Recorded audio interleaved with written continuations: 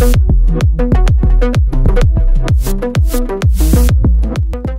back to the World Series of Poker app strategy page. And today we are going over some new strategies for these new tournaments.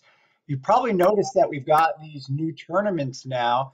What's great about this is that there are some different options. Like, for instance, here now we have tournaments where you're going to be playing only against two other players, which makes it really easy to win this kind of tournament. I'm going to show you in real time how you can totally dominate in this three player tournament. We're going to buy in here real quick. And our strategy is going to be really simple for this three person tournament. Essentially, what we're going to do is we're going to try to knock out one of the two players immediately.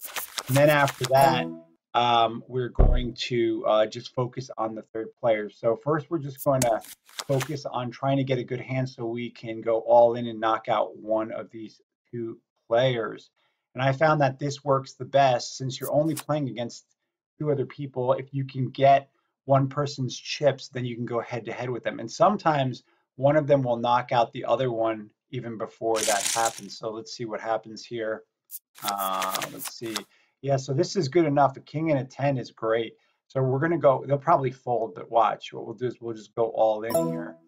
And looks like they probably got a good hand because they actually put in some extras. Let's see if they go in with us on this. Know, there's a good chance you could lose the hand too, but I mean, it's like a heads up 50-50. So what's funny is notice that they just folded.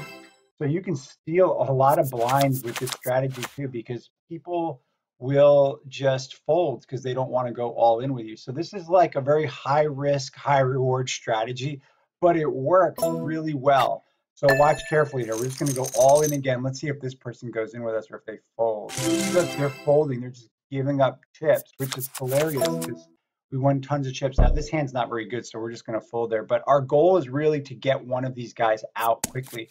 Again, if you play too passive, then you'll find that you're going to get knocked out yourself. So you can't play very passively because remember there is a timer and um, the blinds keep going up. So this hand is not the greatest to go all in with. So we're just going to check and see what happens here unless Oh, look at this. They must have a really good hand. We'll just fold that hand. Oh, look at this. We would have had two jacks there, but they probably got like two kings or something. Let's see. They're probably going to go all in. See, they're really raising here. Let's see what happens. Well, hey, maybe one of these players is going to get knocked out, which is great for us um, because then we can just start going all in and taking away their chips. Look at that. They knocked out one of the players. So that's great. This is actually a good position to be in. Now that we're going head to head with the other player, what's good about it is that we knock them out. And you notice that they're kind of timid because they're just folding. Now there's a chance that we too could lose because they obviously they've got more chips than us. But the reality is that what's going to end up happening, watch this, they're going to probably just check. Oh, maybe not. They must have something, so we'll just fold. Otherwise, I would have just raised right then and there. But our goal is this. We're going all in or folding for the most part, and that's to steal these blinds. Watch this. He'll just probably fold here. See what happens. See what I'm saying? So we're very quickly going to even up with the other person. Um, that's really bad, so we're just going to fold that ourselves. Here we go. We're going to go all in here for oh. sure. And notice that we're just picking stuff up here. Let's see if they go in on it with us. Yep, they did. And it's a surprise because we both had the exact same hand, which is kind of funny. Huh, look at that. So this is where going head to head really matters. And you really have to like take chances here because you see how he just took a chance and we just lift that, that blind right off of him. Any ace that I get, I'm going all in as well. And this is really going to put a lot of pressure on the opponent.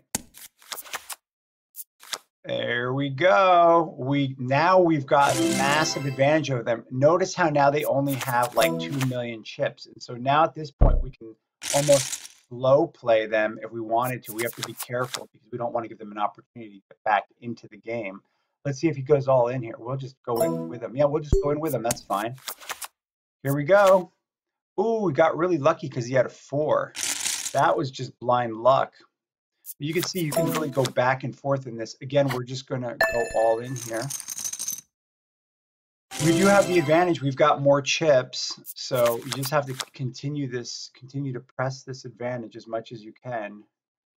Let's see. Notice they just fold because they're scared that we're going to go all in. And if their hand is not really good, then they might just fold it. So let's see here.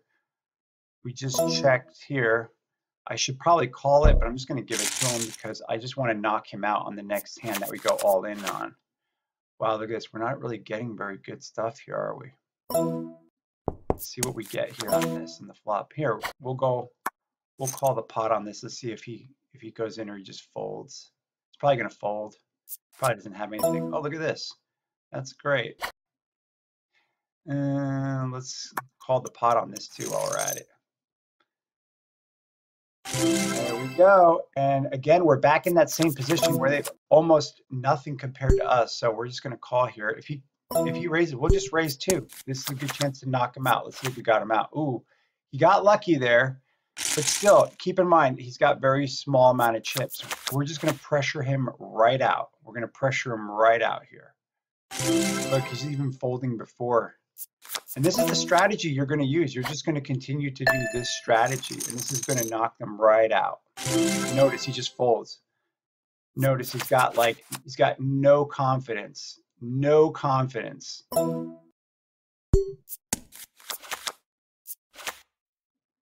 Ooh, got really lucky there, huh? Got really lucky there. So, and this is what makes the game exciting is you got this head-to-head matchup that goes back and forth quite a bit until one person really gets knocked out, as you're going to see.